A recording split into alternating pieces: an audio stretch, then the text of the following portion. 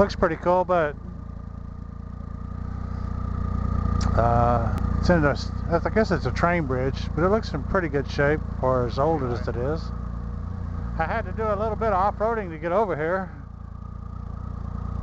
Huh, I don't know where that goes. My bike's not a dual-purpose bike, so I'm not going to go back there. Just in case I run into water like that. But it was uh,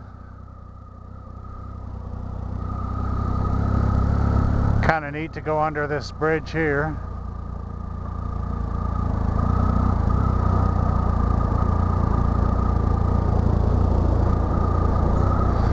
There's some pretty deep ruts in here.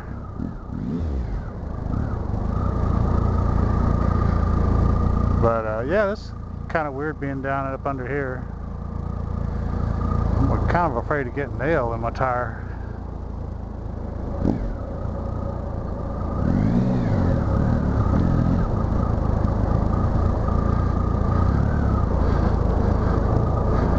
Ain't no telling what kind of trash is down here.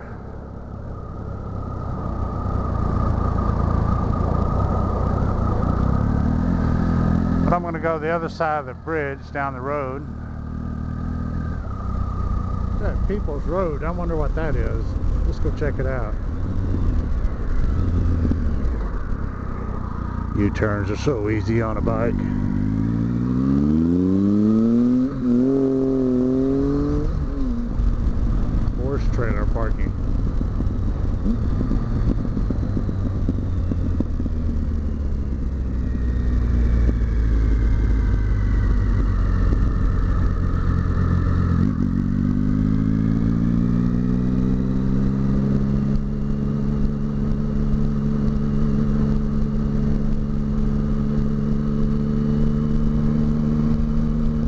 Get off down here in this forested area.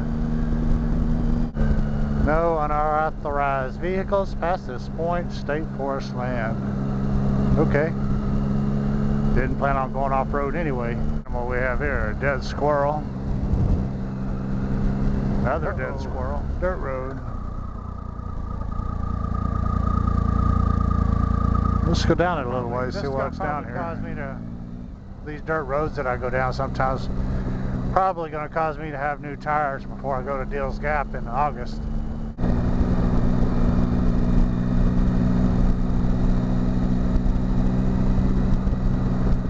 Whoa, squirrel! There's probably going to be a dead end up here.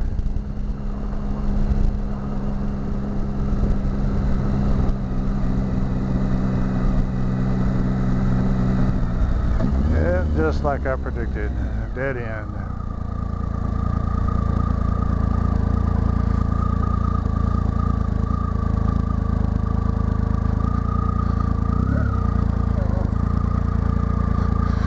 No trespassing, beware of dog. Really soft ground. There goes a deer.